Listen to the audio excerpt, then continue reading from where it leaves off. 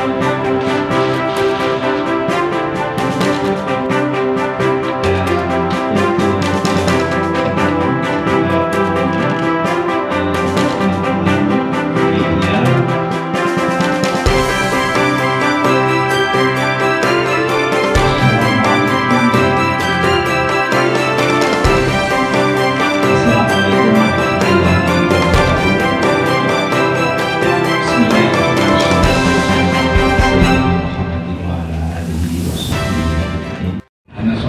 karena sejak awal, sejak pertama memang tidak pernah ada pembatasan bahwa PBNU tidak boleh ada perempuan itu tidak pernah ada pembatasan dari awal nah bahwa sekarang kita masukkan karena kita melihat